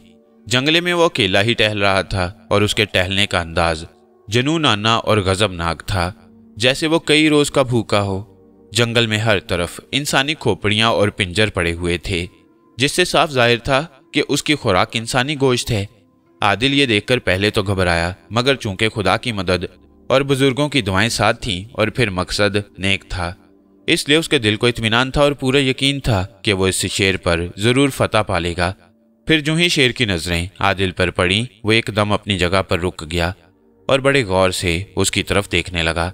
पहले तो शिकार को देखकर वो खुशी से धाड़ा और उसकी चारों आँखों में चमक उभर आई। फिर एकदम उसकी आँखों में खूंखारी और वहशत दिखाई देने लगी। शेर की दोनों जुबानें बाहर निकल आईं, जिनसे राल की बजाय ताज़ा खून टपक रहा था। अब वो उस जंगले की तरफ़ बढ़ा जिसके बाहर आदिल खड़ा था। उसको अपनी तरफ़ आता देखकर आदिल कई कदम पीछे हट गया। शेर ने इंसान को सामने पाकर जंप लगाया और जंगले से टकराकर वापस गिर पड़ा। अब शेर के गुस्से की इंतहा न थी। उसने गुस्से से जंगले की सलाखों को मुँह से चबाना शुरू कर दिया।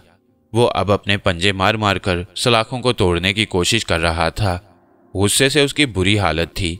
दूसरी तरफ़ आदिल उसे हलाक करने की तदबीरों पर गौर कर रहा था। अगर जंगला ना होता तो उसकी हलाकत के लिए कोई ना कोई माकूल तजवीज़ सोची जा सकती थी। मगर यहाँ तो मसला ही और था। उसके पास मुकाबले के लिए सिर्फ़ एक तलवार थी और वो भी आधी। आदिल ने काफ़ी सोच विचार के बाद अपनी ज़िंदगी को दाव पर लगाने का फैसला कर लिया। और अगले लम्हे, वो अपनी तलवार को दीवार के साथ रगड़ कर टूटी हुई जगह पर नोक बनाने की कोशिश करने लगा। और वो इसमें कामयाब भी हो गया। उधर शेर अपने शिकार को पाकर बहुत बेचैन था और जंगले से बाहर निकलने की हर मुमकिन कोशिश कर रहा था। आखिरकार शेर पीछे हटने लगा। दस बीस कदम पीछे हटने के बाद शेर ठहर गया। और फिर अचानक ही उसने एक जस्त लगाई और दूसरे लम्हे वो जंगले के बाहर था।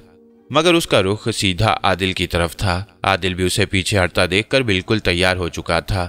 फिर जो ही शेर को अपनी तरफ़ आते देखा, आदिल छलांग लगाकर एक तरफ़ हो गया और शेर धड़ाम की आवाज़ के साथ दीवार से जा टकराया और फिजा शेर की गुराहटों से गूंज उठी। आदिल ने अपनी तलवार की नोक शेर की पीठ में घुसेड़ दी और शेर जख्मी होकर नीचे गिर पड़ा। उसकी पीठ से खून जारी हो गया शेर जख्म खाकर पलटा और आदिल को अपने पंजे से थप्पड़ मारना चाहा। मगर आदिल इस अरसे में काफ़ी दूर हो चुका था। शेर वार खाली जाने पर और भी गजबनाक हो गया और आदिल पर जंप लगा दिया। मगर आदिल भी बला की चुस्ती दिखा रहा था। जो ही शेर फिजा में बुलंद हुआ। आदिल तेज़ी से झुका और तलवार की नोक शेर के सीने में उतार दी। शेर एक गुर्राहट के साथ ज़मीन पर आ रहा। उसके सीने में से खून के फवारे निकल रहे थे। आदिल ने शेर के उठने से पहले जंप लगाया और उसके ऊपर जा गिरा और चाहा कि उस पर एक और वार करे कि अचानक शेर ने पलटा खाया और आदिल उछलकर दूर जा गिरा। शेर ने एक खौफनाक जस्त लगाई ताकि आदिल को दबोच ले। आदिल ने उठना चाहा, लेकिन शेर का एक पंजा आदिल के सीने पर पड़ा और आदिल तकरीबन उड़ता हुआ दूर जा गिरा। आदिल को ऐसा महसूस हुआ जैसे उसकी तमाम हड्डियाँ कड़कड़ा रही हों और सीने में दम घुटता हुआ महसूस होने लगा। वो थप्पड़ इतना ही सख्त था। फिर आदिल ने शेर के दूसरे हमले से बचने की कोशिश की, लेकिन नाकाम रहा। शेर ने अचानक आदिल को दबोच लिया और आदिल शेर के पंजों में उलझ कर घसीटता चला गया। फिर अचानक शेर ने आदिल को ज़मीन पर पटका और चाहता था कि उसके सीने पर सवार होकर उसका सीना उधेड़ डाले और खोपड़ी चिकनाचूर कर दे के अचानक आदिल ने हौसला पकड़ा और अपने हवास मुजतमा करके शेर पर हमला कर दिया। इस दफ़ा आदिल ने आधी तलवार को खंजर के से अंदाज में पकड़ा और फिर लगातार शेर के जिसम पर वार करने शुरू कर दिए। इसका नतीजा ये निकला कि शेर बुखला कर पीछे हट गया। उस वक्त आदिल और शेर दोनों खून में नहाए हुए दिखाई दे रहे थे। आदिल अपना हौसला बुलंद रखे हुए था।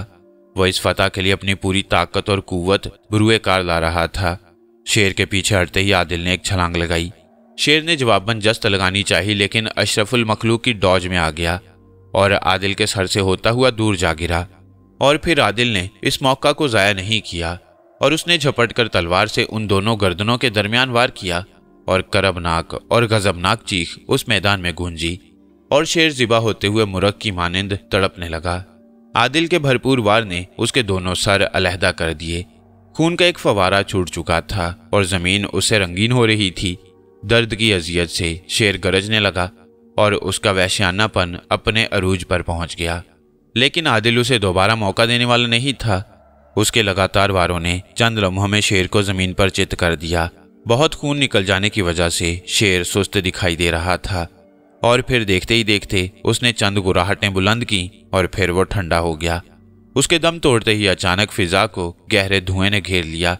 इस अचानक पैदा होने वाले धुएँ से आदिल घबरा गया और फिर जब धुआँ छटा तो वहाँ दो सर वाले शेर की बजाय हल्कास जादूगर दिखाई दे रहा था। उसकी गर्दन से खून निकल रहा था और खून इतनी तेज़ी से निकल रहा था जैसे ये पहाड़ी इलाके का कोई चश्मा हो। अब आदिल बहुत परेशान हुआ, क्योंकि उसे हदायत के मुताबिक दो सर वाले शेर के खून की ज़रूरत थी। लेकिन यहाँ तो मामला ही चौपट हो चुका था। अभी वो इसी शशोपंज में था कि अचानक अंगूठी से आवाज़ बुलंद हुई। आदिल, उस जादूगर की मौत अभी वाक्य नहीं हुई। इसलिए अभी तक जो खून इसके मुँह से निकल रहा है, वो शेर का ही है।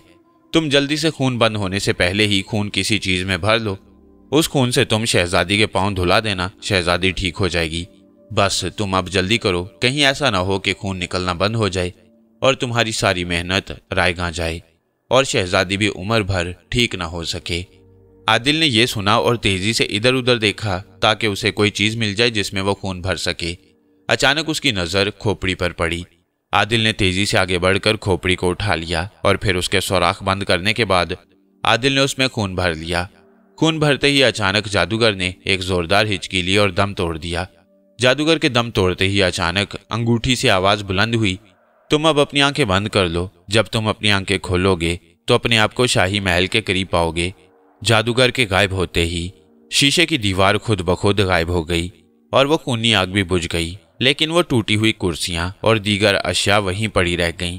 बादशाह और मलका जल्दी से शहजादी की तरफ़ बढ़े और फिर उसे उठाकर उसके कमरे में लाकर मसहरी पर लिटा दिया। उसी वक्त एक दरबान ने आकर इतला दी कि एक नौजवान, जो अपना नाम आदिल बतलाता है, शहजादी के लिए खून हासिल करके लाया है। बादशाह ये पैगाम सुनकर खुशी से दीवानावार खुद ही उस नौजवान को लाने के लिए दरवाजे की तरफ़ बढ़ा और आदिल को दौड़कर गले से लगा लिया और फिर उसे महल में लाया। आदिल ने उस खून से शहजादी के पाँव धोए और फिर शहजादी चंद घंटों के बाद मुकम्मल तौर पर सेहतयाब हो गई। आदिल की खुशी की कोई इंतहा न रही। जब आदिल ने शहजादी को सेहतयाबी के बाद देखा, शहजादी की सेहतयाबी का जश्न तमाम मुल्क में मनाया गया। मुल्क भर में चुरागा किया गया, गुरबा में खाना तकसीम किया गया और शाही खजाने का मुँह खोल दिया गया, जिसकी जितनी ज़रूरत थी पूरी की गई। और इस तरह जब जश्न अपने अरूज को पहुँच गया तो बादशाह ने अपने वादा के मुताबिक आदिल की शादी शहजादी के साथ कर दी और ताजो तख्त आदिल के हवाले करके खुद याद इलाही में मशगूल हो गया। वो दोनों हँसी खुशी ज़िंदगी बसर करने लगे। दुनिया पर एक बार फिर साबित हो गया कि अजमो इस्तकलाल की चटान से कोई नहीं लड़ सकता और हक हमेशा फतेहयाब रहता है और बातिल मिट जाता है। अगली कहानी कैसी होनी चाहिए? कमेंट ज़रूर करें और अपने पसंदीदा चैनल मंसूर वॉइस को ज़रूर सब्सक्राइब करें।